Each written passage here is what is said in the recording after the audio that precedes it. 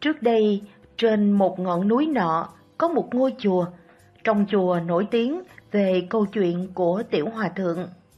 Vị hòa thượng này rất tự tin về đầu óc, học thức và trí tuệ của mình.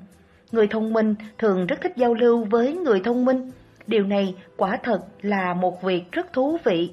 Nên khi cậu nói chuyện với sư huynh, sư đệ học thức nông cạn, tư duy hỗn loạn, ăn nói không rành mạch thì thường hay tức giận gắt gỏng. Sao mà đệ mãi không hiểu thế nhỉ? Bả đậu à? Sư phụ vì chuyện này hay phê bình cậu, miệng thì cậu nhận lỗi sai, nhưng cứ gặp chuyện tương tự, cậu không nhịn được lại nổi nóng. Một ngày lên núi đốn củi đã làm cho cậu thay đổi cách nghĩ. Hôm đó, củi đốn được rất nhiều, tiểu hòa thượng rất vui. Lúc về, cậu cũng mệt nên bỏ bó củi xuống đến bên bờ suối uống chút nước rửa mặt. Lúc đó, Tiểu Cường đến. Tiểu Cường là một con khỉ trong rừng, thường xuyên đến chỗ này chơi, cũng hay gặp Tiểu Hòa Thượng lên rừng đốn củi. Thời gian lâu dần, hai người trở thành bạn tốt của nhau. Tiểu Hòa Thượng định lấy khăn lau mặt thì phát hiện ra khăn ở trên bó củi bên kia. Lúc đó, cậu rất mệt nên ra hiệu cho Tiểu Cường lấy giúp cái khăn. Tiểu Cường chạy đi lấy, nhưng nó lại lấy về một cành củi đưa cho Tiểu Hòa Thượng. Cậu thấy con khỉ này hay thật, rồi lại bảo Tiểu Cường đi lấy, đồng thời ra hiệu hình vuông và nói, cái khăn, cái khăn. Tiểu Cường đi lấy lần hai, mang về vẫn là cành củi. Tiểu Hòa Thượng cười rất đắc chí, lần này cậu nhặt hòn đá ném về phía bó củi, mai sau hòn đá rơi trúng chiếc khăn, rồi nói với con khỉ, nhìn thấy chưa, cầm chiếc khăn về đây. Tiểu Cường lại đi lấy, cầm về vẫn là củi. Hơn thế, lại còn cầm với dáng vẻ dương dương tự đắc, dường như định ám chỉ. Cậu xem, tôi giỏi không?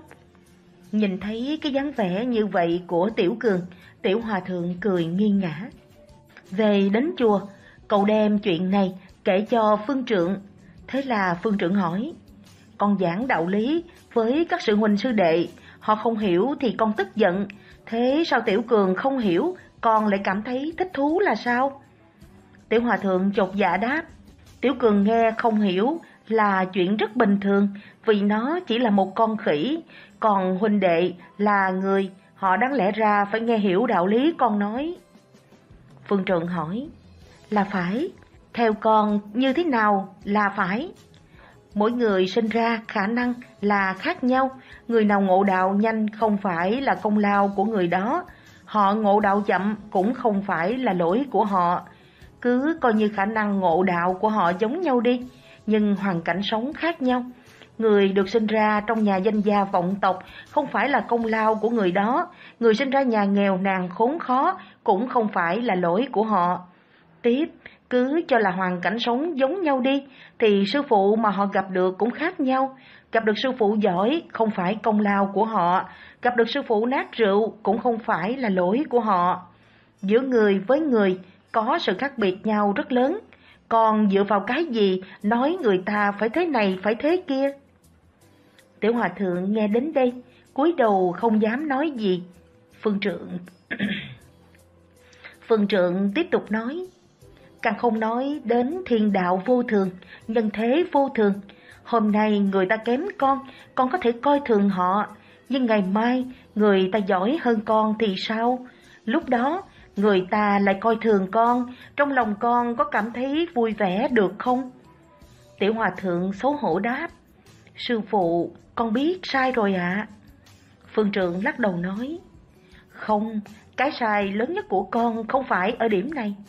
Cậu mở to mắt ngạc nhiên hỏi, Vậy thì sai của con ở đâu ạ? À? Vị phương trượng ôn tồn.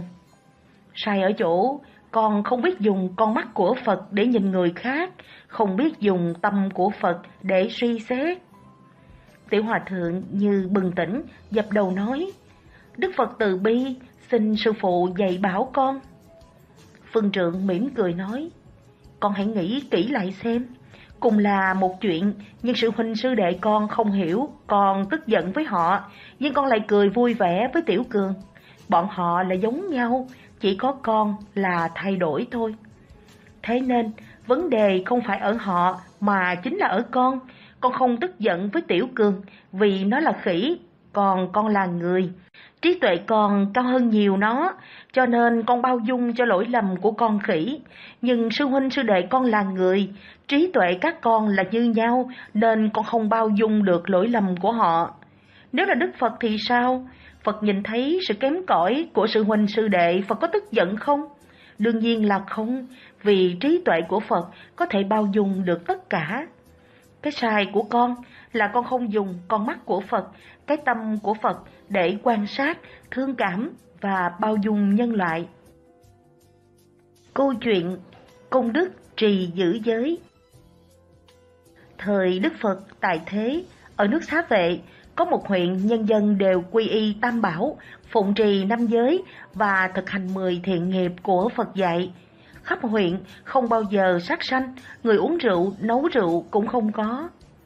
Trong huyện có một người con dòng dõi sắp đi buôn tha phương.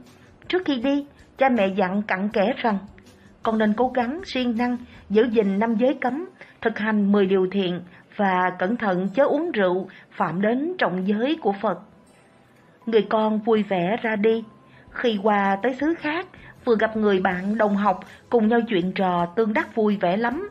Bạn mời về nhà, đem rượu bồ đào ra đãi. Người ấy tự cười nói rằng, nước tôi toàn giữ năm giới cấm của Phật, không một ai dám uống rượu. Vì nếu uống rượu thì đời sau phải ngu si đần độn không được thấy Phật. vả lại, khi ra đi, cha mẹ tôi khuyên không nên uống rượu. Bây giờ tôi phạm giới cấm, thời trái mệnh lệnh của cha mẹ, tội ấy chẳng gì lớn bằng. Chúng ta là bạn thăm giao lâu ngày, được gặp nhau không gì mừng rỡ hơn nữa. Nhưng bạn chớ làm tôi phạm giới cấm của Phật và trái lời dạy của song thân tôi. Người bạn tiếp lời. Chúng ta là bạn đồng học một thầy, coi như anh em ruột. Cha mẹ tôi cũng như cha mẹ anh. Với cha mẹ, chúng ta có bổn phận kính thờ, không được trái mạng. Tôi nếu ở bên nhà anh là phải tuân theo ý muốn của cha mẹ anh. Nhưng nay anh ở nhà tôi, anh nên tùy thuận ý của cha mẹ tôi mới phải. Trước sự khẩn khoản của lòng bạn, anh ta phải uống rượu. Uống xong, anh ta say luôn trong ba ngày, không biết gì. Khi tỉnh, anh ta ăn năn lo sợ vô cùng. Công việc xong, người ấy trở về nhà trình lỗi của mình cho cha mẹ rõ. Cha mẹ tức giận mắng rằng, Người trái lời ta, phạm giới cấm thật là loạn pháp, không phải đứa con thảo. Tự nghĩ làm gương trước cho mọi người trong xứ, cha mẹ bèn thâu hết đồ đạc của đứa con rồi đuổi ra khỏi nhà. Người con bị đuổi bèn đi qua nước khác, xin ở đậu trong một cái nhà. Chủ nhà ấy là người thờ phụng quỷ thần, thứ quỷ thần rất khôn ngoan, hay hiện ra thân người, ăn uống nói chuyện. Chủ nhà ấy hết lòng tin tưởng với quỷ thần vì phải thờ phụng lâu năm mệt nhọc, của tiền hết sạch, trong nhà người đau chết xảy ra luôn, quỷ thần không cứu gì cả. Quỷ thần hiểu ý chủ nhà, liền bảo với nhau. Nhà này của tiền hết sạch cũng chính vì ta, đã lâu ta chưa làm gì được lợi ích cho chủ, nên chủ chán nản là phải lắm. Bây giờ chúng ta phải đi kiếm đồ trân bảo về biếu chủ, để chủ vui lòng. Nói rồi, cùng nhau đi lấy trộm vàng bạc trong kho nhà vua của nước khác, đem về giấu ở sau vườn, rồi bảo chủ rằng, Người có công nhọc, nay ta muốn ban phước cho người được giàu có. Sau vườn nhà ngươi, có một tráp vàng bạc, ta cho ngươi đó. Chủ nhà ra vườn tìm thấy tráp vàng, sung sướng lắm. Sáng sớm, thiết tiệc rất long trọng mời thần tạ ân. Thần vừa đến cửa, thấy trong nhà có bóng người ở nước xá vệ, liền tránh không đi vào. Chủ nhà chạy theo cố mời trở lại, thần trả lời. Trong nhà người có vị tôn khách ta đâu dám vào. Nói xong rồi tỏ vẻ sợ hãi bỏ chạy. Chủ nhà nghĩ trong nhà chỉ có một mình người khách này thôi, liền kính cẩn đến thưa rằng Xin mời ngài đến dự tiệc với chúng tôi cho vui. Ăn uống xong, chủ nhà hỏi vị tôn khách rằng Ngài có công đức gì mà vị thần của tôi thờ phụng sợ hãi ngài mà phải tránh đi? Vị tôn khách trả lời Tôi chỉ có công đức thọ trì năm giới và mười điều thiện của Đức Phật. Tôi vi phạm một giới uống rượu, bị cha mẹ đuổi qua trọ tại đây, nhưng còn giữ được bốn giới nên thiên thần ủng hộ. còn thần của ngươi thờ phụng là thứ tà thần ác quỷ làm sao sánh kịp. Chủ nhà thưa rằng, tôi thờ các vị thần đã lâu rồi, không có lợi ích gì nên tôi chán quá, mong ngài hoan hỷ dạy cho. Nói rồi, bèn theo vị tôn khách nọ thọ trì tâm quy ngũ giới và pháp thập thiện. Thọ xong một lòng tinh tấn siêng năng phụng trì không hề hủy phạm. Một hôm hỏi vị tôn khách rằng, Đức Phật hiện nay ở đâu, có thể đến ý kiến Ngài được không? Tôn khách trả lời, Đức Phật hiện nay ở nước xá vệ trong vườn cấp cô độc, qua đó sẽ được ý kiến Ngài. Nghe vậy, người chủ nhà rất sung sướng, quyết qua xá vệ để ý kiến Đức Phật. Giữa đường trời tối, ghé lại xin trọ một nhà thiếu nữ xinh đẹp. Thiếu nữ ấy chính là vợ của một con quỷ ăn thịt người. Thiếu nữ liền can rằng, ông chớ ở lại đây nên đi gấp thì tốt hơn. Người ấy hỏi có gì nguy hiểm chăng? Thiếu nữ tỏ ý không bằng lòng nói thêm. Tôi đã nói với ông như vậy, ông còn hỏi làm gì nữa? Người kia tự nghĩ, người ở nước xá vệ chỉ giữ bốn giới của Phật còn khiến cho quỷ thần sợ hãi thay. Huống chi ta đã thọ trì chắc chắn pháp tam quy ngũ giới và thập thiện của Phật. Nghĩ vậy, nhất định ở lại không chịu đi. Đêm ấy, con quỷ ăn thịt người về nhà, thấy có khách oai thần và công đức trì giới, nên phải lẫn quẩn ngoài hè, rồi đi xin trọ một đêm, nơi mà hàng xóm cách xa tới 40 dặm. Sớm mai, người ấy lên đường để qua xá vệ, ra khỏi cửa ngõ, thấy thầy chết xương máu đầy đường do quỷ ăn thịt người đã ăn xả. Cảnh tượng ấy khiến người kia sợ quá và hối hận rằng Nước ta sẵn đủ áo mặc cơm ăn, nhà ở, không thiếu món chi, ở trong nhà chẳng sướng hơn sao. Ta tưởng đến được ý kiến Phật và coi sự kỳ diệu của Ngài, ngờ đâu lại gặp hài cốt rùng rợn như vậy. Nghĩ xong, chàng sanh ác ý, trở về khuyên người thiếu nữ kia theo mình trở về nước, cùng nhau chung sống trăm năm. Khi về đến nhà, thiếu nữ xin ở lại, thiếu phụ hỏi, sao ông phải trở lui như vậy? Người kia đáp, hành kế không thành nên tôi phải trở lui, mong thiếu nữ cho tôi ở tạm một đêm.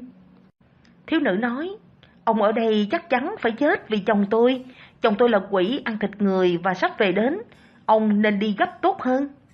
Người ấy không tin, năn nỉ xin ở lại cho được, và trước sắc đẹp của thiếu nữ, người ấy khởi nhiều ý niệm không tốt đẹp, còn không tin pháp tam quy ngũ giới và thập thiện của Phật. Vị thiện thần hộ giới liền bỏ đi, không ủng hộ cho người ấy nữa. Quỷ ăn thịt người, được dịp thuận tiện trở về. Thiếu phụ sợ chồng ăn thịt người kia tội nghiệp nên đem lòng thương hại, giấu người kia trong một cái lưu. Quỷ bắt hơi bảo người vợ, mình có kiếm được thịt người phải không? Bây giờ ta thèm lắm. Vợ trả lời, tôi không đi đâu cả làm chi có thịt, sao hôm qua không thấy anh về? Con quỷ nói, hôm qua trong nhà có vị tôn khách nên ta phải đi tránh. Người ở trong lưu nghe vậy càng thêm sợ hãi, đến nỗi không nhớ gì đến pháp tam quy ngũ giới của mình thọ. Người vợ hỏi tiếp, vì lẽ gì anh không kiếm được thịt? Quỷ trả lời, vì trong nhà có đệ tử của Phật ở lại nên thiên thần đuổi ta đi xa ngoài 40 dặm, phải ngủ trống giữa trời một đêm rất là sợ hãi. Đến bây giờ vẫn chưa hoàn hồn cho nên không kiếm thịt được. Người vợ nghe vậy rất mừng thầm, mới hỏi chồng làm thế nào được nghe và phụng trì giới cấm của Phật. Quỷ trả lời, bây giờ ta đói lắm, lấy thịt cho ta ăn đã, không nên hỏi việc ấy vội. Giới là pháp vô thượng chân chính của Đức Như Lai, ta đâu dám hỏi đến. Người vợ cố năn nỉ, anh hãy vì tôi nói đi, tôi sẽ lấy thịt anh ăn. Chú quỷ tham ăn đã sẵn, thèm ăn lắm, lại thêm cô vợ cố hỏi, buộc phải nói, tâm quy ngũ giới cho vợ nghe. Pháp tam quy là quy y Phật, quy y Pháp và quy y Tăng. Ngũ giới là không sát sinh, không trộm cắp, không tà dâm, không nói dối, không uống rượu. Khi quỷ vừa nói giới đầu, người vợ nghe liền định tâm tỉnh thọ, lần lượt nói hết năm giới, thì vợ quỷ rất sung sướng, nhất tâm chấp trì và miệng động tụng không nghỉ. Người giấu ở trong lu lại nghe được pháp tam quy ngũ giới, rất lấy làm hổ thẹn và vui mừng, tự tâm lãnh thọ trở lại. Thiên đế thích, biết hai người này đã phát tâm quy y Phật, thọ trì năm giới, bèn lựa 50 vị thiên thần đến ủng hộ hai người ấy. Quỷ ăn thịt người sợ hãi, phải trốn đi nơi khác. Đến sáng, vợ quỷ hỏi người giấu ở trong lu. Những chuyện vừa qua ông có sợ không? Người kia trả lời, sợ lắm, nhưng được cái may là nhờ ơn ân giả mà tôi ngày nay được hiểu hết oai thần và công đức giới pháp của Phật. Vợ hỏi tiếp, hôm qua ông trở lui làm gì vậy? Vì tôi thấy hài cốt đầy đường nên sợ hãi quá phải trở lui. Vợ quỷ mới nói rằng, hài cốt đó chính tôi bỏ đấy. Tôi đề vốn con nhà lương thiện, không may bị quỷ bắt đem về làm vợ. Tôi buồn khổ vô cùng, nhưng chẳng biết tỏ cùng ai. Nhờ ơn nhân giả, tôi được thọ năm giới cấm của Phật và xa lánh được con quỷ ác độc này. Thật là hạnh phúc cho tôi. Bây giờ nhân giả còn đi đâu nữa? Tôi cần qua nước xá vệ để ý kiến Phật. Thiếu nữ nghe lấy rất làm sung sướng khen rằng Hay lắm thay, tôi sẽ về nhà, đem cha mẹ tôi theo nhân giả đi ý kiến Phật. Nói xong cùng nhau lên đường. Đi được nửa đường thì gặp một đoàn 498 người ở bên nước xá vệ đi về. Người kia và thiếu nữ mới hỏi, các hiền giả đi đâu đông thế? Chúng tôi đi ý kiến Phật về đây. Chúng tôi sắp qua nước xá vệ. Chúng tôi nhờ thọ trì tam quy ngũ giới và 10 điều thiện của Phật nên mới thoát khỏi nạn quỷ ăn thịt. Nay chúng tôi muốn qua ý kiến để tạ ơn và nghe thuyết pháp. Các hiền giả được thấy Phật rồi còn đi đâu làm gì nữa? Phật thuyết pháp suốt ngày, nhưng chúng tôi ngu độn chưa hiểu được rõ. Nay trở về nước, được gặp hai hiền giả và được nghe hai hiền giả cho biết công đức của người trì giới pháp của Phật. Chúng tôi xin theo hai hiền giả trở lui một lần nữa để ý kiến Phật. Phật ở xa, trông thấy đoàn người kéo đến liền mỉm cười, chói hào quang tỏa năm sắc. Tùng giả A Nan bước ra quỳ sát đất trong tâm nghĩ ngợi. Chắc Phật sắp dạy điều gì đây? Phật bảo A Nan, người có hiểu không? Người có thấy 498 người khi nãy trở về đây không? A Nan thưa, Bạch Đức Thế Tôn, còn có thấy.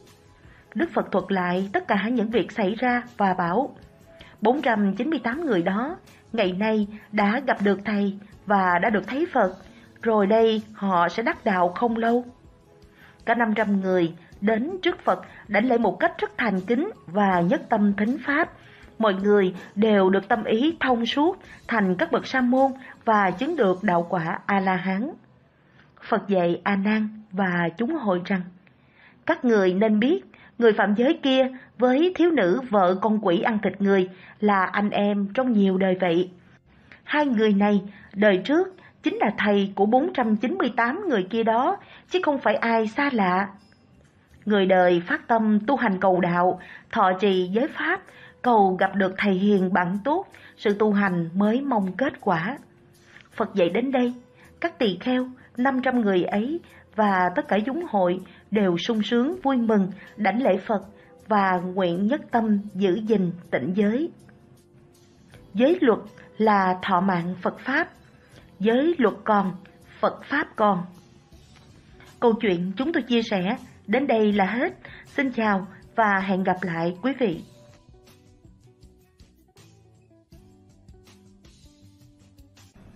Tình là gì? Tình tức tình cảm Có thể chia thành tình thân, tình yêu, tình bạn, tình đồng đạo Đạo Phật khuyên con người lìa dục, xả bỏ tất cả Nhưng không phải biến mình trở thành kẻ vô tình Vì chúng sinh vốn được gọi là hữu tình chúng sinh Tức là chúng sinh có tình cảm Nếu chưa được giải thoát giác ngộ thì tất cả con người đều có tình cảm. Đó là lẽ thường tình, tự nhiên của con người. Trong những thứ tình cảm đó, tình yêu thương của bố mẹ dành cho con cái là tình cảm thuần khiết, dị tha nhất. Tình cảm đó chỉ có cho đi mà không hề mong cầu báo đáp. Tình bạn bè là tình đạo nghĩa của con người trong mối tương quan với người khác trong xã hội. Tục ngữ có câu Tình cảm của người quân tử trong sáng thanh đạm như nước lã. Cho thấy tình bạn nhẹ hơn tình thân một bậc. Tình đạo hữu chỉ mối quan hệ giữa những người cùng tu tập theo Phật Pháp. Họ sẽ quan tâm, giúp đỡ, hỗ trợ nhau. Tình yêu nam nữ là thứ tình cảm phức tạp nhất trong đời. Tuy có những tình yêu trong sáng, chân thật, cũng là thứ tình cảm chỉ cho đi mà không hề muốn đền đáp. Nhưng rất hiếm. Phần lớn, tình yêu nam nữ là tình yêu chiếm hữu, ràng buộc. Điều này có liên quan đến nhu cầu cảm giác an toàn của con người. Vì bất kỳ ai cũng không mong cùng người khác chia sẻ những thứ mình có. Cho nên, tình cảm thường là cội nguồn của đau khổ. Tuy nhiên, có thể nói rằng, trong những thứ tình cảm của con người, bình thường thì tình cảm nam nữ ngọt ngào nhất. Vì thế, tình yêu nam nữ là thứ tình cảm phức tạp, khó xử lý nhất trong bốn thứ tình cảm nêu trên. Đồng thời, đây cũng là thứ tình cảm tiềm ẩn nhiều nguy cơ nảy sinh vấn đề nhất. Người xưa có câu Trời nếu có tình, trời cũng già. Điều đó muốn nói rằng tình cảm là thứ dày dò tâm trí con người nhiều nhất. Khi tình yêu lên ngôi, đôi bên quấn quýt gắn bó cao sơn. Nhưng nếu yêu quá mức, liền thành đau khổ. Tình cảm yêu đương nam nữ nồng thấm như người Trung Quốc nói. Yêu nhau như thuở ban đầu. Đôi bên quan tâm yêu thương trân trọng, tha thứ cho nhau. Một khi có điều gì đó khúc mắc, hai bên phải tìm hiểu và bù đắp cho nhau. Như thế, tình cảm mới được bền lâu. Thực ra, khi hai người nam nữ đến với nhau, họ đã có hai thế giới riêng yêu thương bao nhiêu cũng chỉ là hai thế giới, chứ không thể quá thành một được. Vì thế, khó tránh những lúc to tiếng cãi giả. Cho nên, tình yêu nam nữ cần phải học cách tha thứ, tôn trọng và bổ sung cho nhau. Ngoài ra, trong quá trình quen biết, yêu thương nhau của những đôi bạn trẻ thường có sự chênh lệch về mặt tình cảm. Một bên quá yêu thương đến nỗi bên kia không thể chấp nhận được tình cảm đó. Vì yêu thương có mặt quá nhiều, chiếm hữu. Có trường hợp, một bên quá yêu thương, bên kia quá thờ ơ, lãnh đạm.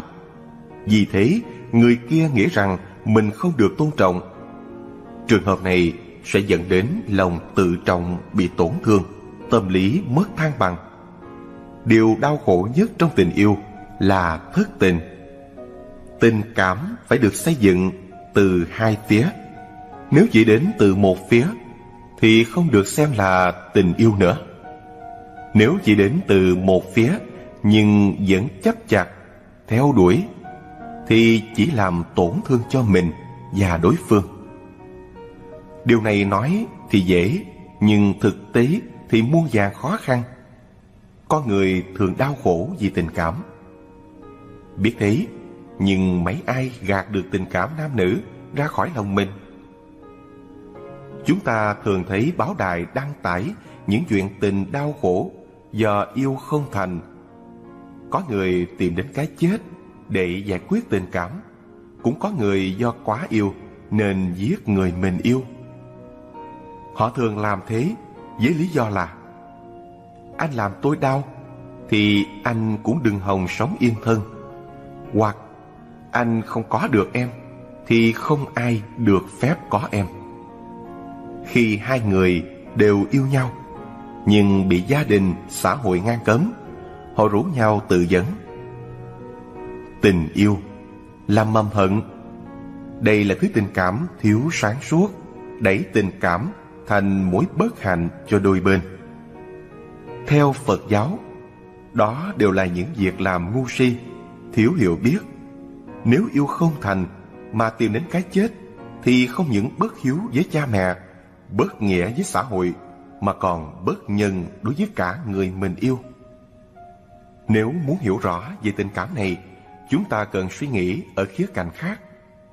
Thực ra, khi chúng ta yêu, chúng ta cứ chấp chặt vào một đối tượng và muốn tạo mối ràng buộc sống chết cho nhau. Nếu mở rộng lòng mình, nhìn vào thực tế xã hội, thì đâu cũng có người đáng yêu thương.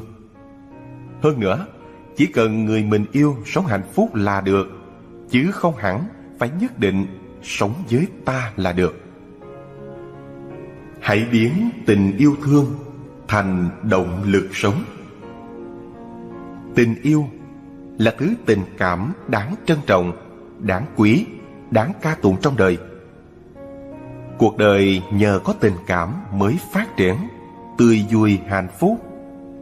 Nhưng những năm gần đây, các phương tiện báo chí trong và ngoài nước thường đăng tải những vụ án tình thảm khốc. Trong đó, nguyên nhân chính chủ yếu là do các nạn nhân đều là tín đồ tình ái, nhưng không hiểu tình yêu là gì. Yêu có thể chia thành tình yêu ích kỷ và tình yêu dân hiến. Tình yêu dân hiến là lòng từ bi, tức là tình yêu thương rộng lớn mà người ta thường gọi là bác ái. Tình yêu ích kỷ là thứ tình yêu muốn chiếm hữu, thường là tình yêu nam nữ. Đương nhiên, trong tình yêu nam nữ vẫn có rất nhiều mối tình đáng được người đời trân trọng. Tuy vậy, tình yêu nam nữ có tính chiếm hữu lớn, lúc nào cũng muốn giữ lấy người mình yêu. Vì thế khi yêu, đôi bên cứ ngỡ đó là thứ tình yêu dân hiến. Thực ra, đó là thứ tình cảm luôn luôn tranh thủ chiếm lấy trọn vẹn tình cảm của đối phương và đó cũng là cái đích của tình yêu này. Trong quá trình chiếm hữu, thể hiện tình yêu, nếu chỉ thấy đối phương không như những gì mình mong muốn hoặc không phù hợp với tâm nguyện mình thì sẽ nảy sinh xung đột, oán hận, hoài nghi, thậm chí sinh lòng thù hận. Không thể có một tình yêu nam nữ hoàn toàn vô tư, dân hiến. Vì khi yêu, rất dễ gây ra nghi ngờ. Nghi ngờ dẫn đến cãi giả, nhất là trong những mối tình tay ba. Yêu và hận quyện chặt nhau rất khó phân định. Yêu vì hận, hận vì yêu. Vì tình yêu nam nữ xuất phát từ lòng ích kỷ, chiếm hữu, nên tình yêu thường không yên bình. Nhân gian có câu, yêu nhau, yêu cả đường đi, ghét nhau ghét cả tôn chi họ hàng. Một khi không đạt được mục đích, tất cả công sức theo đuổi không được đền đáp thường sinh lòng oán hận. Khi đó, họ có tư tưởng ăn không được thì đạp đổ. Khi đạp đổ, họ không lường được kết quả sẽ thế nào. Trong cơn nóng giận sẽ hủy hoại đối phương. Thậm chí, có người còn cướp mất mạng sống của người mình yêu. Đây chính là bi kịch tình yêu của con người. Có người rất mù quáng trong tình yêu, chỉ biết yêu và yêu chứ không nghĩ đến các nhân tố hiện thực khác. Đó chính là suy tình. Suy tình có thể vì mục đích tình dục, cũng có thể do mù quáng trong cách nhìn nhận đánh giá đối phương. Trong mắt gã suy tình, người mình yêu là đẹp nhất, tài giỏi nhất.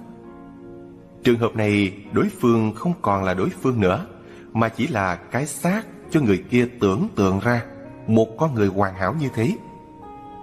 Vì thế, kết cục của những tình yêu mù quáng, suy tình không bao giờ tốt đẹp như ý cả. Khi rơi vào trường hợp này, bạn cần sớm thức tỉnh. Tại sao có người nói hôn nhân là một phần của tình yêu? Vì trước khi lấy nhau, cả hai đều che giấu cái xấu, tô điểm cái đẹp vốn không phải của mình, hoặc mình không có như thế. Thậm chí có người còn tìm cách làm đẹp cho những khuyết điểm của mình. Đến khi kết hôn, thành vợ chồng, chung sống với nhau, tất cả khuyết điểm dần dần hiện rõ và đôi bên dần thất vọng về nhau. Cuối cùng hạnh phúc tan vỡ.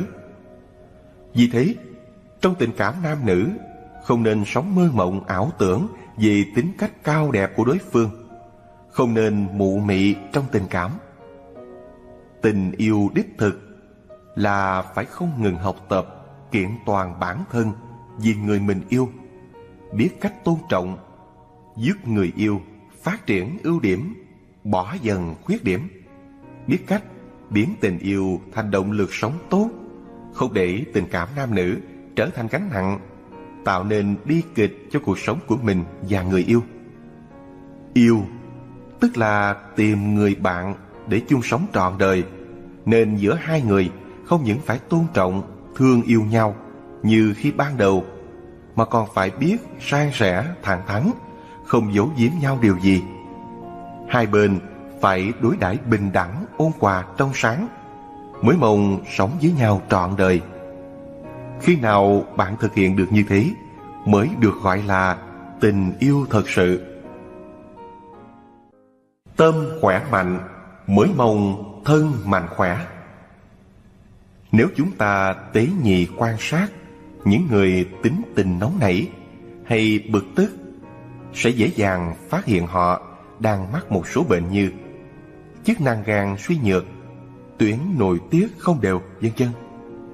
Mỗi khi tinh thần suy nhược, chán chường, đó là lúc thân tâm đều mệt mỏi, không đủ sức làm việc, xử lý tình huống.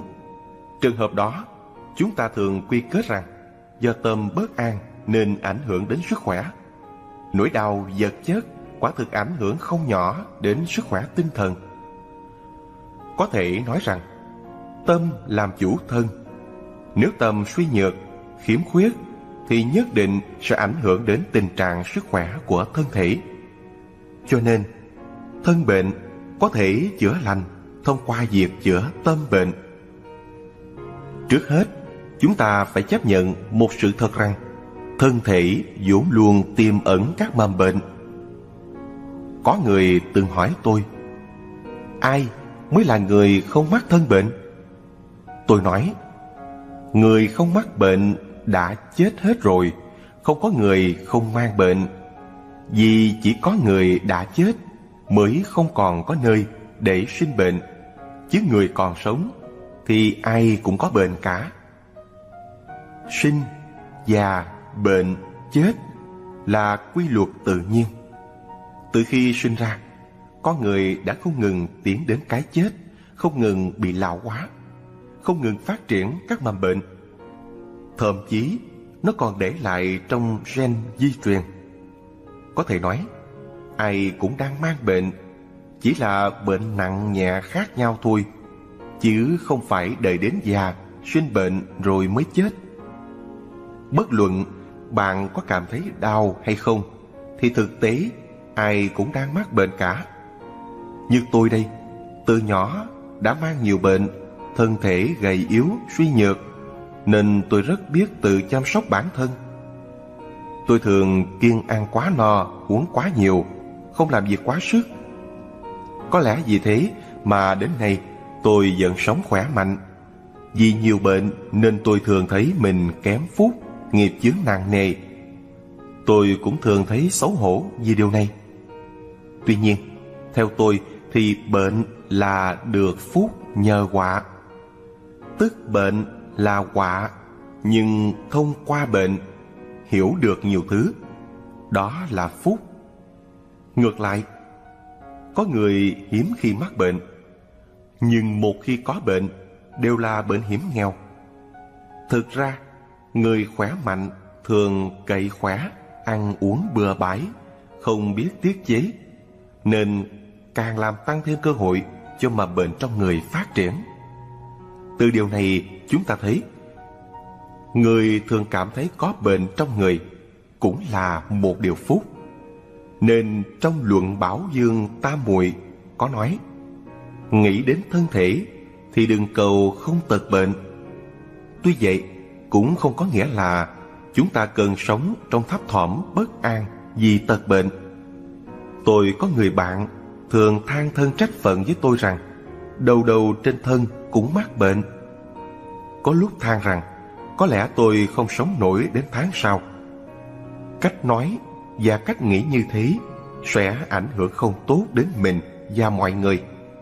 đó cũng không phải là người có đời sống nội tâm lành mạnh. Vì thế, chúng ta nên nghĩ rằng bệnh tật chỉ là một trong những điều tất yếu không thể tránh khỏi của con người. Một là để nhắc nhở chúng ta thêm trân trọng sự sống. Hai là để hiểu được cuộc đời vô thường, sinh lão bệnh tử là tất yếu. Khi nghĩ được như thế, một khi sinh bệnh, bạn không bị chao đảo ảnh hưởng đến tâm lý. Có người mất hết niềm tin và nghị lực sống một khi phát hiện mình mang bệnh nặng. Bị bệnh thì chữa trị, chữa trị không khỏi thì ít nhất cũng không nên để chúng trở thành tâm bệnh. Phát hiện bệnh là điều nên mừng chứ không phải là điều nên lo. Vì ít ra trong trường hợp xấu nhất, bạn cũng có sự chuẩn bị trước để hoàn thành những việc cần làm. Nên biết mình mang bệnh hẳn là một điều đáng mừng vậy. Nhìn theo quan điểm Phật giáo, phàm là con người sinh ra trong đời này, ai cũng có vô lượng tội đã làm trong vô lượng kiếp quá khứ. Một khi lâm bệnh, nghĩa là một lần nghiệp quả báo ứng. Đó là cách trả nợ ác nghiệp mình tạo trong quá khứ. Đã làm được thì phải chịu được, chứ chẳng có gì phải lo âu cả. Ngoài ra, Phật thường dạy các đệ tử rằng tỷ kheo thường đới tam phân bệnh nghĩa là người xuất gia phải mang trong người một ít bệnh. Câu nói có ngụ ý rằng, bệnh tật cũng là một trong những cách giúp người tu tập hiểu được bản thân, hiểu được cuộc đời vô thường. Trên đây là những quan điểm, những cách nhìn nhận về tật bệnh, giúp chúng ta có cái nhìn thấu đáo chính xác về thân bệnh nếu biết vận dụng các quan điểm vào cách nhìn nhận, đánh giá tật bệnh của bản thân, thì tuy thân thể không khỏe mạnh, nhưng vẫn không ảnh hưởng đến tâm lý, không đến nỗi buồn rầu, tuyệt vọng khi mang bệnh. Vượt lên nỗi khổ chia lìa. Trăng có lúc tròn, lúc khuyết. Người có lúc tụ, lúc tan trong đời chẳng có buổi tiệc nào không dứt. Người sống trong đời khó tránh được bi quan lý hợp. Khi chia lìa với người thân, Cũng ít ai cầm được nước mắt. Đây là sự thật về khổ trong đời. Phật giáo gọi là Ái biệt ly khổ. Tình cảm con người có tình cảm cha con, Tình vợ chồng, Tình yêu nam nữ tình cảm bạn bè, vân dân Trong đó, tình cảm người thân trong gia đình và tình yêu nam nữ là những tình cảm thân thiết nhất. Khi đối diện với sinh ly tử biệt cũng là lúc đau khổ nhất. Tình cảm bè bạn nhạt hơn, nhưng nếu là những người bạn từng sống chết có nhau, chân thành giúp đỡ nhau trong ngọt bùi hoạn nạn, thì khi phải chia lìa cũng là một nỗi khổ lớn. Tình thân chủ yếu chỉ tình thương của bố mẹ dành cho con cái. Vì thật ra, như người ta nói, nước mắt chảy xuôi, nên tình cảm con cái dành cho bố mẹ không đầm ấm vô tư và đại lượng như tình bố mẹ dành cho con cái. Sự trưởng thành khôn lớn của con cái không thể thiếu sự quan tâm, chăm sóc, yêu thương của bố mẹ. Thế nhưng, khi con cái lớn khôn cũng là lúc sắp phải chia xa vì trai phải dựng vợ, gái phải gả chồng. Không thể sống mãi bên bố mẹ được. Như những chú chim đủ lông đủ cánh, không thể ở mãi trong tổ được. Đó tuy là sự thật, nhưng chưa từng có bố mẹ nào không rơi nước mắt khi nhìn chim non xây tổ ấm mới có người muốn cho con đi du học Nhưng lại không chịu được cảnh xa con Khóc lóc nhung nhớ. Đó Âu cũng là lẽ thường. Tất cả đó Chính là ái biệt ly khổ Tức là khổ vì yêu thương chia lìa. Khi có con cái, các bậc làm cha làm mẹ phải chuẩn bị tâm lý để một ngày nào đó con khôn lớn phải tách rời tổ ấm cũ, xây dựng tổ ấm mới, tránh đau buồn quá mức. Khi chúng ta có sự chuẩn bị trước, sẽ không thấy sốc hay quá đau khổ vì chia lìa. Ngoài ra, sự chia lìa của tình yêu thương nam nữ cũng là nỗi đau lớn của con người. Tình yêu càng sâu đậm thì biệt ly càng đau khổ. Nếu yêu thương nhau không đến được với nhau, đó là một nỗi khổ lớn của con người trong tuổi yêu đương. Cũng may tôi là người xuất gia. Khi vào quân ngũ từ Trung Quốc đại lục đến Đài Loan, ít bị tình thân, tình yêu ràng buộc nên cũng nhẹ nhàng khi ra đi. Tuy nhiên, cảnh bình định quyến luyến hồn chúng tôi vào quân ngũ giữa đông đảo bạn bè. Các bậc bố mẹ và người thân đưa tiễn chúng tôi. Quả thực, rất khó lòng dứt khoát ra đi. Tôi nghĩ rằng giữa con người với con người, chỉ cần có tình cảm dành cho nhau, bất luận là tình thân, tình bạn hay tình yêu thương nam nữ, đều sẽ rất khổ đau khi biệt ly. Tuy tôi là người xuất gia, nhưng trái tim tôi vẫn bằng xương thịt. Cũng có phần đau buồn khi phải chia tay với người thân, bạn bè. Ví dụ, năm tôi lên 14 tuổi, tôi vào chùa xin xuất gia. Còn nhớ, có lần mẹ đến thăm tôi và ở lại trong chùa một ngày rồi về. Mẹ tôi không nỡ rời xa, nhưng cũng không muốn bắt tôi về lại nhà. Cái cảm giác như đứt ruột khi phải xa tôi lúc đó của mẹ. Quả thực khiến tôi thấy nhói đau. Tuy nhiên, sau đó tôi nghĩ bụng, chính mình phát tâm xuất gia. Muốn dùng tấm thân do bố mẹ tác thành này để báo đáp ơn đức sinh thành dưỡng dục của bố mẹ. Tôi muốn vượt lên giới hạn nhỏ bé của bản thân để mang lại lợi ích cho nhiều người trên đời này nữa. Tôi muốn gieo hạt giống Phật vào lòng người để giúp họ tránh khổ tìm vui. Đồng thời, tôi xem đó là cách báo ân cha mẹ. Theo tôi, nếu sáng tối bên bố mẹ suốt đời cũng không phải là cách báo đáp thâm ân hay nhất. Nghĩ thế, tôi thấy lòng mình dơi đi, đau khổ rất nhiều. Có đoàn viên, lý hợp mới trưởng thành. Tục ngữ có câu Trời còn trẻ lắm vì chưa thấu tình. Nguyên văn là Trời có tình, trời cũng già. Điều đó muốn nói rằng tình thân, tình yêu, tình bạn mang lại sự ấm áp cho chúng ta. Thế nhưng vẫn mang mầm mống đau khổ, nhất là khi phải đối diện với sinh ly tử biệt. Vì thế, có người cho rằng chỉ cần cắt đứt tình cảm với mọi người thì không còn khổ vì nó nữa.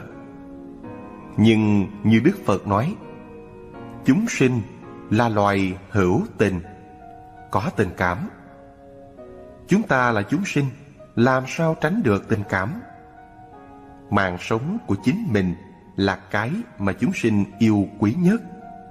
Sau đó mới đến những người, sự việc và sự vật liên quan đến mình. Tình thân tượng trưng cho sự kéo dài của sự sống con người vì con cái là quá thân của bố mẹ. Tình yêu cũng thế, nhờ có sự kết hợp giữa nam nữ mới có con cháu đời sau. Nên nói tình yêu là sự nối dài của sự sống. Tình bạn bè tuy không liên quan trực tiếp đến sự sống của mình, nhưng người sống trong đời ai không có bạn? Bạn bè là người chia sẻ buồn vui, làm đời sống thêm thú vị, là một trong những suối nguồn của đời sống tinh thần. Nên tình bạn cũng góp phần rất quan trọng trong cuộc sống con người. Tình yêu nam nữ có liên quan mật thiết đến sự sống con người. Nhờ có tình cảm này mới có con người đó là sự thật không thể phủ nhận. Nếu chúng ta phủ định hoặc cắt đứt hẳn thứ tình cảm này, thật sự không hợp với quy chuẩn đạo đức thế gian, không hợp với đạo lý làm người. Xét theo quan điểm Phật giáo, bất luận là tình thân, tình yêu hay tình bạn đều do duyên sinh. Có nhân, có duyên mới khiến mọi người sống chung, gần gũi, hợp tác với nhau. Tuy nhiên, chúng ta cần hiểu rõ rằng nhân duyên tụ tán là lẽ tất yếu của tự nhiên. Như chúng ta thường nghe nói, sông có khúc, người có lúc, hay trăng có khi tròn khi khuyết, người có lúc tụ lúc tan. Như thế đủ thấy rằng, sống chết hợp tan đều là lẽ tự nhiên của trời đất. Sum họp, chia liệt đã là sự thật tất yếu thì chẳng có lý do gì khiến chúng ta phải đau khổ cả. Giáo lý Phật giáo dạy chúng ta nên giữ tâm mình ở mức bình thường. Vì bình thường tâm thì đạo, tức tâm bình thường chính là đạo. Nhờ có tâm đó mà khi sum họp ta không quá vui mừng, khi chia lìa ta không quá đau khổ. Hơn nữa, người ta sống trong đời phải có lúc tụ lúc tan, phải trải qua tất cả khổ đau của đời mới mong tiến bộ trưởng thành. Nếu cuộc đời cứ phẳng lặng, đứng yên bất động thì chúng ta mãi mãi dừng lại tại một điểm cố định, không thể tiến bộ được. Ví dụ, hôm nay quen biết người này, ngày mai lại quen người khác. Nhờ thế, chúng ta mở rộng thêm mối giao du với mọi người, mở rộng mặt bằng giao tiếp. Thế nên, hợp tan trong đời là sức mạnh giúp chúng ta trưởng thành vì nhờ mở rộng giao lưu với mọi người mà kiến thức sống phong phú hơn, đa dạng hơn. Quả thực, đó là điều rất tốt.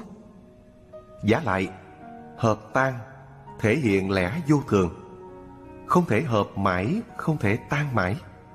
Hơn nữa, với sự phát triển của các phương tiện kỹ thuật hiện đại, chúng ta có thể liên lạc với nhau dễ dàng qua điện thoại, mạng toàn cầu. Dù cách nhau bao xa, cũng có thể nói chuyện trực tiếp, thấy mặt nhau được. Hơn nữa, con người thường chú trọng sự giao lưu về mặt tinh thần, nên tuy không ở gần nhau được, nhưng vẫn có thể thông tin, thăm hỏi nhau. Do đó, chuyện hợp tan đã không còn khổ như xưa nữa. Chia cách nhau sẽ dĩ làm cho người ta đau khổ, bắt nguồn từ tâm lý chấp chặt, muốn người mình yêu thương mãi mãi bên ta.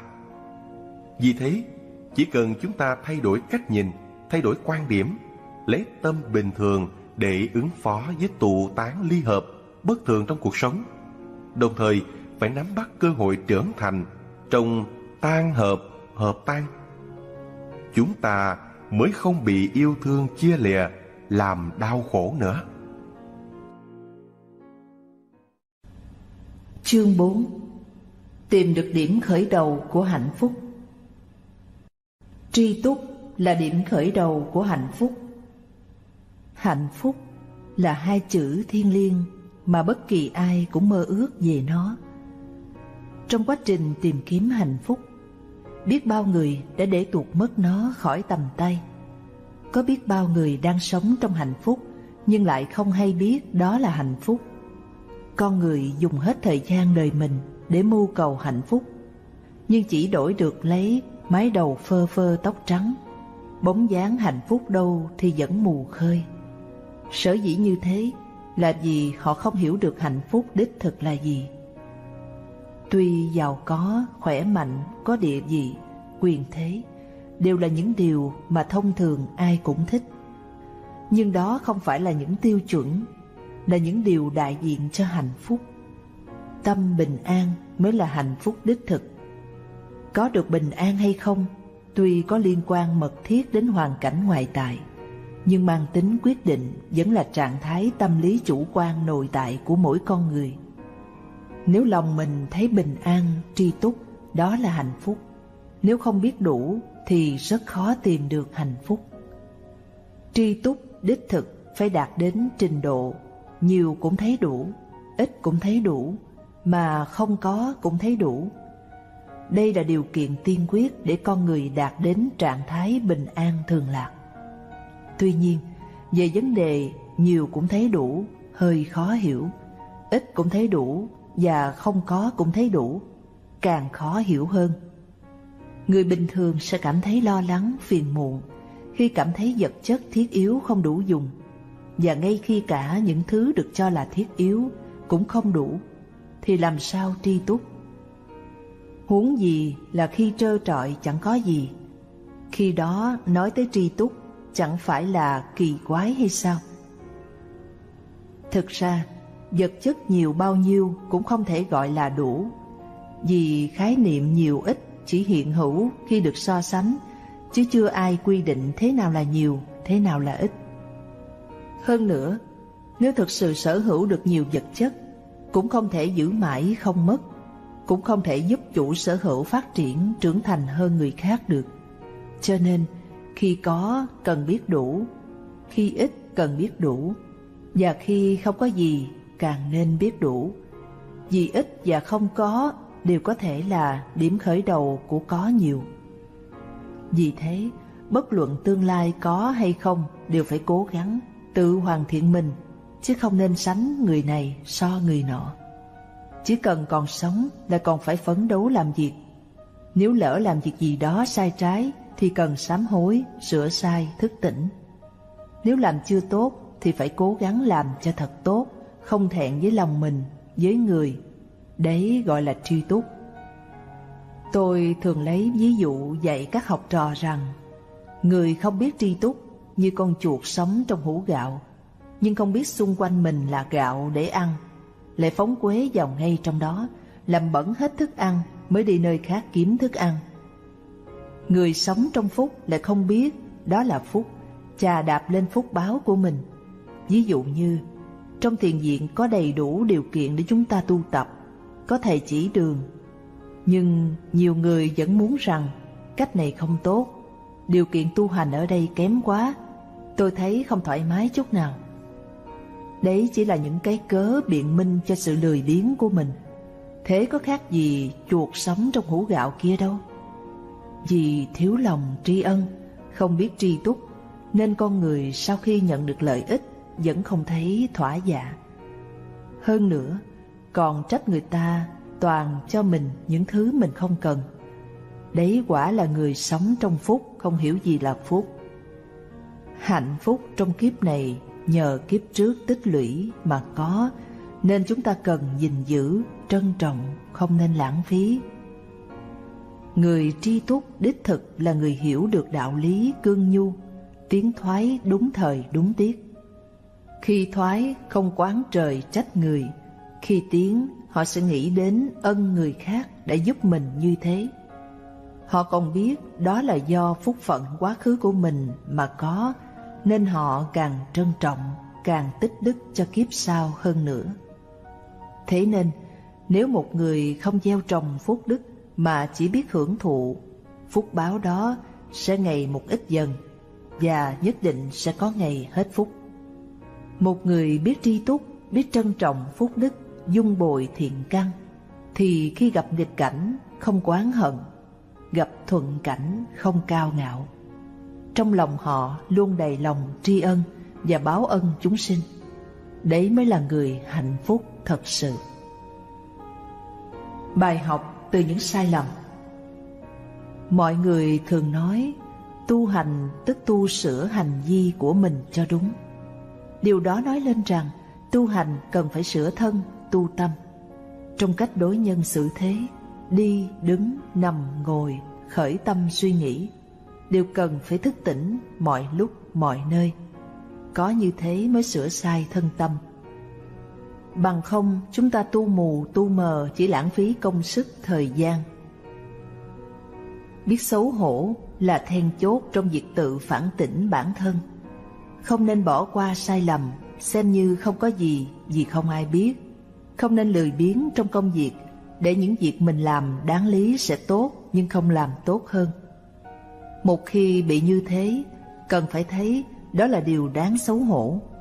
Không nên sợ làm sai, nghĩ sai, mà sợ nhất là không biết sửa sai, không chịu nhận sai. Chúng ta cần thức tỉnh mọi lúc mọi nơi, biết cách kiểm điểm, đánh giá bản thân một cách vô tư mới thấy được lời nói sai, suy nghĩ sai và việc làm sai của mình. Khi tu tập kiểm điểm bản thân, chúng ta sẽ dễ dàng nhận thấy khi mọi người suy nghĩ, hành động hoặc nói năng đều phạm sai lầm. Nói đúng, làm đúng rất ít. Đúng sai chỉ phân biệt khi chúng ta đặt chúng trong điều kiện hoàn cảnh, mức độ phạm vi lớn nhỏ mới biết. Trong đời không có việc gì hoàn toàn đúng, cũng chẳng có việc gì hoàn toàn sai, mà chúng chỉ khác nhau ở mức độ đúng bao nhiêu trong sai và sai bao nhiêu trong đúng. Vượt qua giới hạn nào đó thì đúng thành sai, sai lại thành đúng là lẽ thường tình. Là một tín đồ theo Phật, chúng ta cần kiểm điểm tam nghiệp gồm hành vi, lời nói và suy nghĩ đúng sai thế nào để có cách điều chỉnh thích hợp. Có lúc ta nói sai điều gì đó nhưng không nhớ, đợi đến khi có người chỉ ra mới nhớ. Bất kỳ ai cũng có những điểm mù trong cách nhìn nhận, đánh giá bản thân, nên ai cũng cần người khác nhắc nhở, chỉ điểm. Nếu người khác chỉ ra khuyết điểm nhưng mình không chịu nhận lỗi, ngược lại còn to tiếng quát mắng, tự cho mình đúng, thì lúc đó chúng ta đã sai lầm đến mức không cứu chữa được nữa. Nếu bạn làm đúng nhưng bị người khác sửa lưng cũng không sao, vì bất luận họ nhận xét đúng sai thế nào đi nữa, thì họ vẫn đang có ý tốt với bạn, mong bạn sửa sai. Thậm chí khi đối phương có ý xấu cũng phải cảm ơn vì họ đã nhận xét. Có thể nói rằng, đời người là quá trình học tập lâu dài từ những sai lầm đã phạm cho đến phát hiện sai lầm và sửa sai. Công phu thức tỉnh bản thân một mặt vừa phải tự giác phát hiện để sửa đổi, mặt khác phải nhờ người khác chỉ ra để sửa chữa. Người ta thường nói, nhận phê bình và tự phê là chìa khóa giúp con người trưởng thành. Chính là ý nghĩa ở đây tôi muốn nói vậy. Cảm ơn người gây hờn quán Bất luận ở trong gia đình hay trong môi trường công sở, môi trường xã hội, chúng ta đều nghe thấy rất nhiều sự hờn oán, trách móc nhau. Có người quán vợ, trách chồng, có người trách con, không nghe lời, có người trách cấp trên chèn ép, có người trách cấp dưới không nghe lời. Thậm chí còn có người quán trách các chính sách của chính phủ, môi trường xã hội. Thực ra, quán trách chỉ làm cho tinh thần của chính họ sa sút phiền muộn chứ chẳng giúp được gì cho mong ước của họ. Đương nhiên, mọi quán trách đều có lý do chứ không phải trách khống, trách bừa, mà có thể là trách vì người khác không hiểu mình, trách vì đối phương ăn nói thiếu tôn trọng, xử lý vấn đề không thỏa đáng. Có người thường có tính giận cá chém thớt, không dám trực diện nói với người mình quán trách, mà chỉ nói với người khác, nói sau lưng hoặc trút giận vô cớ lên ai đó. Trách quán sau lưng tuy giảm căng thẳng, bực tức trong lòng nhất thời, nhưng nếu một khi đối phương nghe thấy thì sự việc sẽ phức tạp hơn lên. Vì thế, quán trách không giúp gì được cho vấn đề cần giải quyết, mà còn tăng thêm ngăn cách giữa mình và đối phương. Vậy nên tốt nhất là chúng ta không nên quán trách sau lưng, nếu có bất kỳ điều gì mâu thuẫn, thì hãy bày tỏ, kiến nghị, hoặc tìm một cách nào đó tiện nói nhất để giải quyết. Cần lưu ý rằng khi chúng ta nói với đối phương là mong đối phương sửa đổi, chứ không phải nói để trút cho đã cơn giận. Thực ra trong sâu thẳm lòng mình, ai cũng biết được mình thiếu sót mặt nào, tốt mặt nào. Trường hợp này chúng ta nên nói như cách nói của các nhà sản xuất Hãy nói khuyết điểm của chúng tôi cho chúng tôi nghe và xin hãy nói ưu điểm chúng tôi cho người khác nghe. Thế nhưng, lời hay thường chối tai. Tâm lý chung của con người là thích nghe lời ngon ngọt, thích được khen ngợi, dù mình không có ưu điểm đó. Ngược lại, dù đó thực sự là khuyết điểm, nhưng lại không muốn nghe người ta phê bình. Vấn đề chung của con người là ít nhìn ra lỗi của mình, nên khi nghe người khác phê bình thì không chịu chấp nhận. Đổ lỗi là người ta xúc phạm mình, lỗi ở người ta chứ mình chẳng chút khuyết điểm gì. Lời trách oán thường mang cảm giác khó chịu cho người nghe. Nên chúng ta cần dưỡng đức tính khiêm nhã đối với những lời nhận xét, trách quán. Khổng tử nói, văn quá nhi hỷ, tức là nghe người nói lỗi của mình thì vui. Bất luận là người ta phê bình trực diện hay nói xấu sau lưng, thậm chí người khác biêu díu cái xấu của mình trước mặt mọi người, thì chúng ta cũng cần có khí độ của người quân tử để nhận sai nếu có. Những ai chịu nghe lời phê bình mới thực sự trưởng thành, mới mong hoàn thiện bản thân, mới mong mình ngày càng tốt đẹp. Có lúc người khác phê bình, chỉ trích không đúng, như những gì mình có. Trường hợp này cũng cần học thêm đức tính nhẫn nhịn. Hơn nữa phải biết cảm ơn sau những lời nhận xét, bất luận đó là nhận xét đúng hay sai. Hơn nữa, khi nào đối phương còn chỉ trích phê bình thì khi đó mình còn có trong lòng đối phương.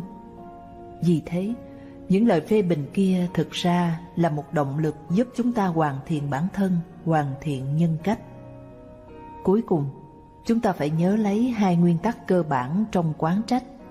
Thứ nhất là không nên quán trách bất kỳ ai. Thứ hai là khi nghe người khác quán trách mình thì không nên buồn, cũng không nên xem họ là thù địch.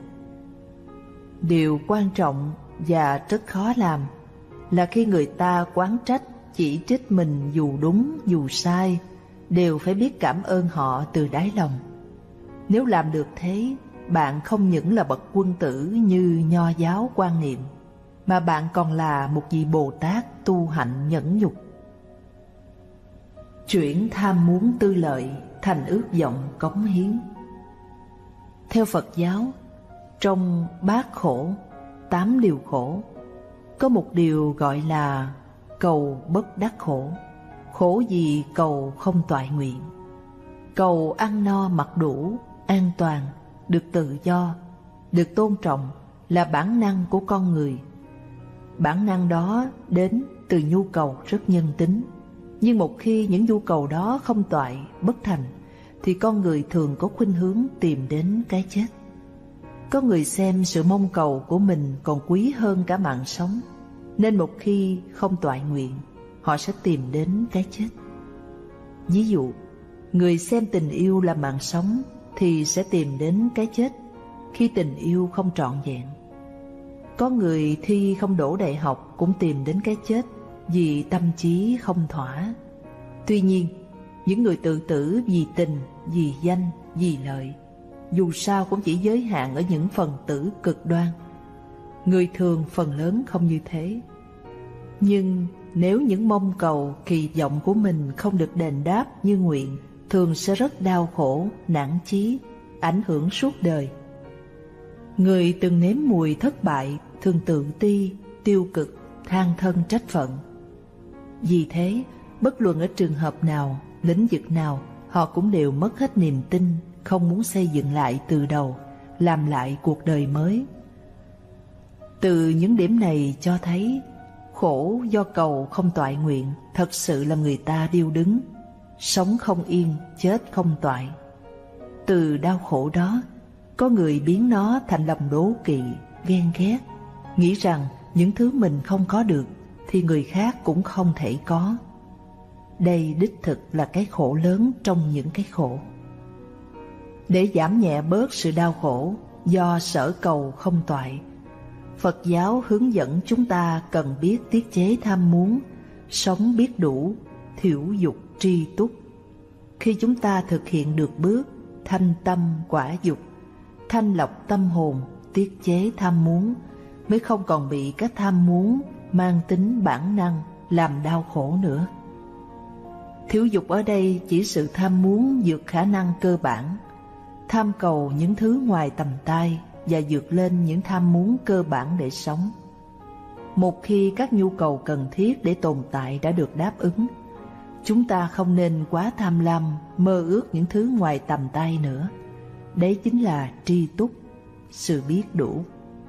Ví dụ, chúng ta vốn chỉ cần sống trong một căn phòng đủ rộng để sinh hoạt là được.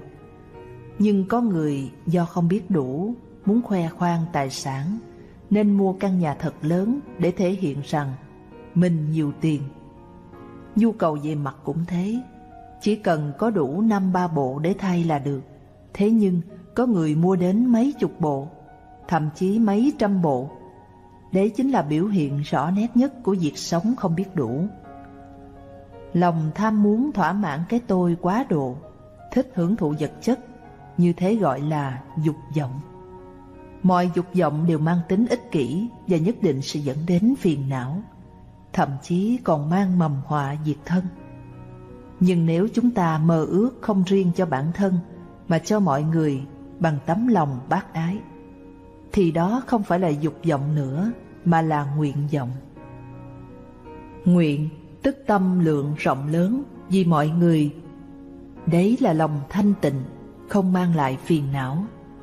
Ví dụ, một người phát nguyện dốc hết sức lực, trí lực để cống hiến cho xã hội, muốn người xung quanh được hạnh phúc, đấy đích thực là tâm nguyện thanh tịnh. Thế nên, thiếu dục tri túc không có nghĩa là không làm gì, không cần phải nỗ lực, không cần có chí tiến thủ, cũng không có nghĩa là đánh mất nhiệm vụ và mong ước của mình. Nếu không thì sẽ ngộ nhận rằng người thực hành hạnh Bồ Tát đều là người có quá nhiều dục vọng. Hiểu lầm như thế sẽ không muốn thực hành hạnh nguyện Bồ Tát, không muốn thành Phật. Quan niệm này không phù hợp với tinh thần Phật Pháp vì thực hiện hạnh nguyện Bồ Tát không phải là dục mà là nguyện.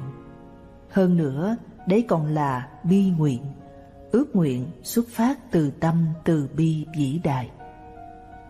Người ta thường nói, tri túc giả thường lạc, người tri túc thường vui.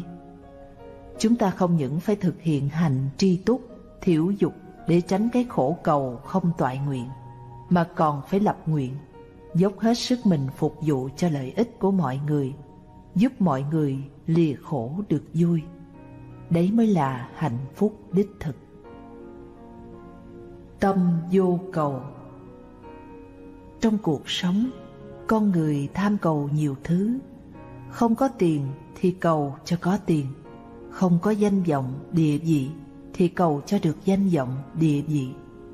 Chưa có con thì cầu sao cho có con.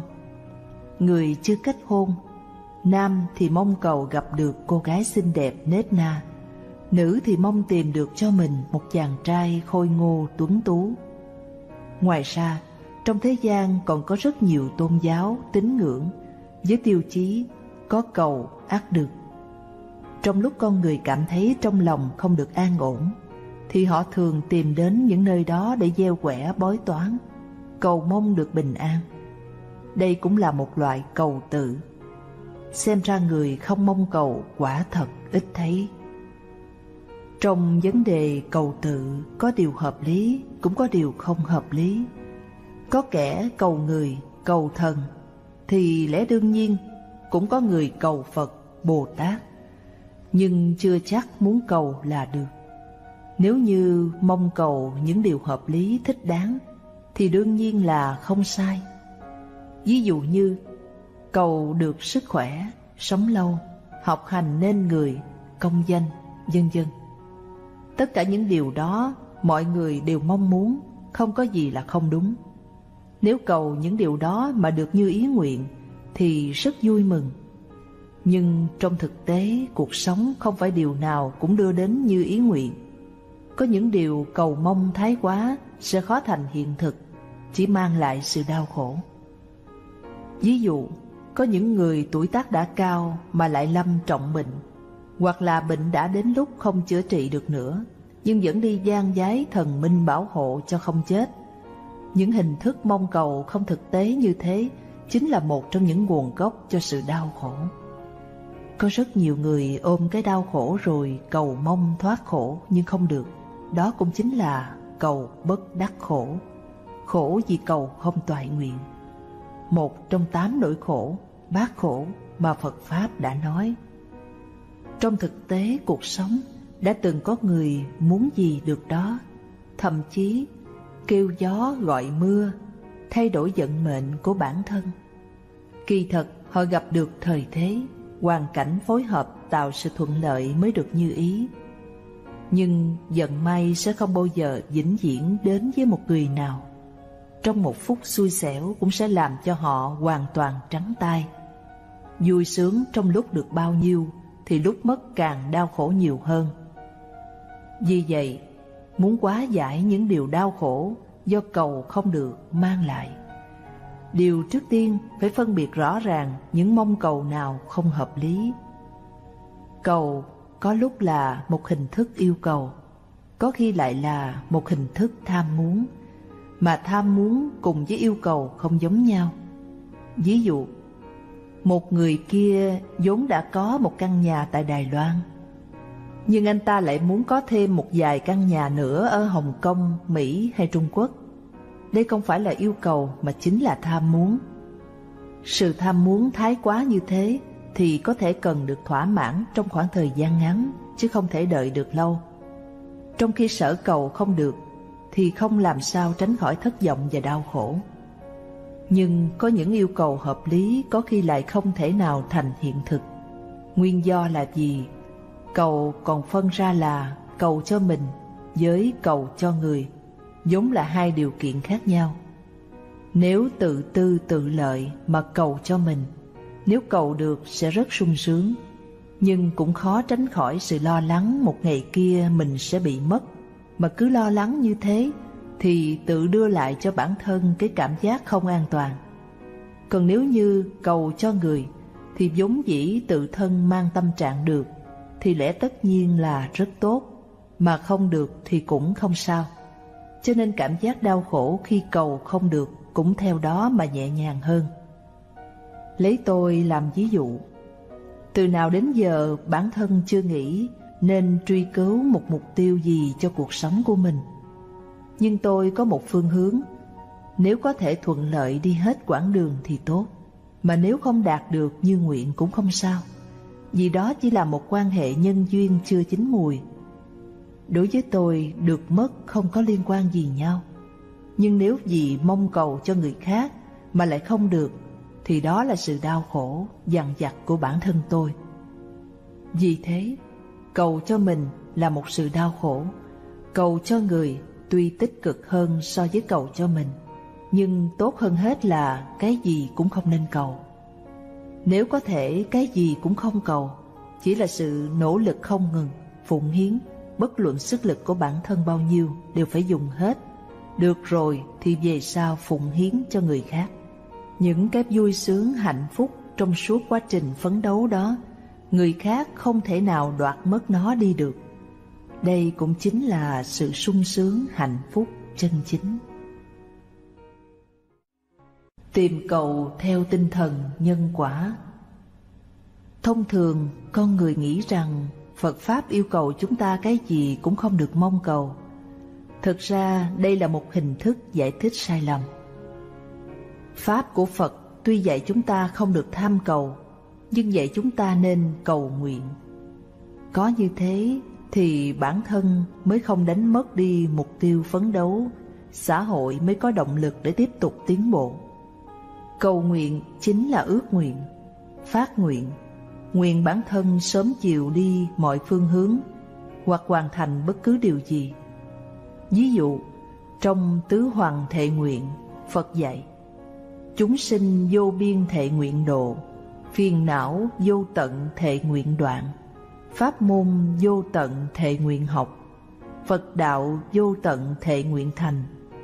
Bất luận là độ chúng sanh số nhiều không bờ bến, cắt đứt phiền não vô cùng, hoặc là học tập vô lượng pháp môn, đều là hình thức vì chúng sinh mà phát khởi nguyện lực hưng khởi tâm nguyện học tập. Do đó, cầu nguyện là sống đến già, học đến già, suốt cuộc đời kiên quyết không ngừng học tập. Thêm nữa, yêu cầu bản thân còn cần trồng phước, bồi đắp phước cũng là để cho bản thân càng tiến bộ hơn. Mà tham cầu tức là sự tham muốn không bờ bến, thấy người khác có, mình cũng muốn có. Ví dụ, thấy người ta có một căn nhà, mình liền khởi ý niệm cũng phải có một căn nhà.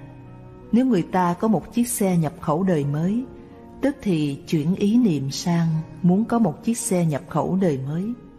Bất luận là nên muốn hay không nên muốn, có thể muốn hay không thể muốn, muốn hay không muốn, phàm khi bản thân đã muốn rồi, thì muốn phải có cho được. Vì thế, tham cầu chẳng có cái gì là đạo lý, chỉ là thỏa mãn tham muốn của bản thân mà cầu, chỉ là tham muốn không thiết thực. Có người thấy lợi thì sinh tâm đen tối, chỉ vì tham cầu những thứ không thuộc về mình, nên tìm đến với bàn môn tả đạo, kết cuộc chỉ rước họa vào thân. Ngoài ra có kẻ không cầu cứu người mà đi cầu cứu Phật trời, như vào đền chùa cầu nguyện. Bản thân cầu được rồi, bèn trở lại báo đáp thần minh bằng nhiều hình thức.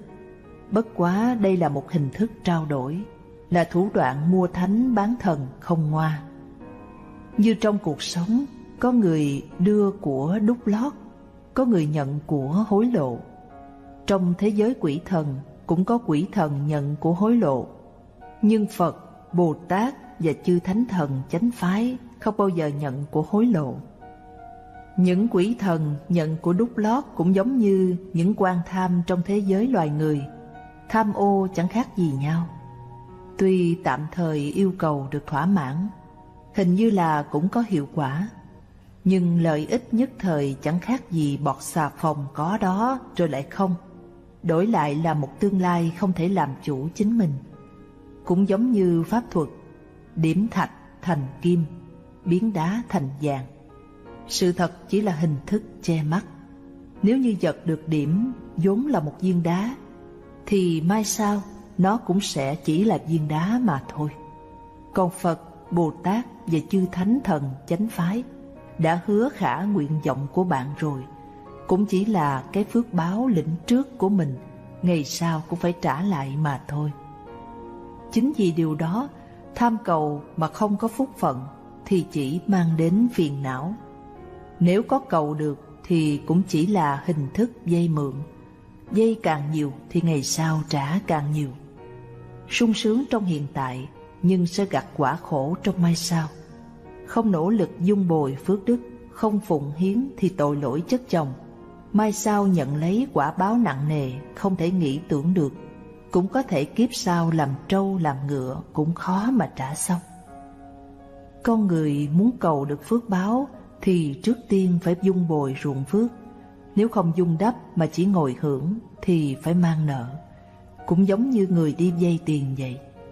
Vì thế, một người vốn có bao nhiêu thì chỉ bấy nhiêu, không có ai tự nhiên kiếm được tiền, tự nhiên sinh ra giàu có. Nếu không đổ sức mà được, thì ngày sau cái giá phải bỏ ra càng nhiều gấp bội. Đứng về mặt Phật Pháp mà nói, bình thường người cầu học, cầu chức vụ, cầu giàu sang đều là đúng, nhưng truy cầu của chúng ta cần phải hợp lý và cần phải bỏ công sức để đổi lấy. Trong đó, chúng ta cần phải hiểu rõ cái giá của mối quan hệ giữa quyền lợi, nghĩa vụ và trách nhiệm. Nếu chúng ta cầu phước, thì phải dung đắp truồng phước. Muốn hưởng thụ quyền lợi thì phải cần làm tròn nghĩa vụ. Đây là nhân quả. Chỉ có truy cầu đạo lý nhân quả phù hợp mới là tốt nhất, chỗ dựa vững chắc nhất. Nếu không như vậy, mà chỉ có tham cầu không thôi, miễn cưỡng có thể đạt được nhưng họa cũng theo đó mà đến. Vì vậy, chúng ta cần dùng phương pháp cầu nguyện. Vì đạt đáo mục đích mà nỗ lực phụng hiến, chứ không nên dùng phương pháp mê tín để tham cầu. Nếu không thì chẳng những không được gì mà còn mất hết. Một tâm nguyện thực tế Ai ai cũng có nguyện vọng, nhưng không nhất định là tất cả nguyện vọng đều thành hiện thực. Nguyện vọng có thể hỏng là vì chúng ta thường xem trọng vấn đề nhỏ nhặt trước mắt, cũng như muốn có một đóa hoa, nhất thời không có cách nào để được nó. Bèn nghĩ là nguyện vọng của mình đã không thực hiện được, rồi cảm thấy đau buồn. Kỳ thực, nếu không có hoa mà có một nhành cỏ cũng đã được rồi. Dù không có hoa không có nhành cỏ nào mà có thể có được một cành cây cũng rất tốt. Và hơn nữa, cái gì cũng không có, thì tâm của mình cũng không nên vì thế mà bị ảnh hưởng. Trên thực tế, nếu vì người khác, vì chúng sinh mà phát lời thề, thì mới gọi là nguyện.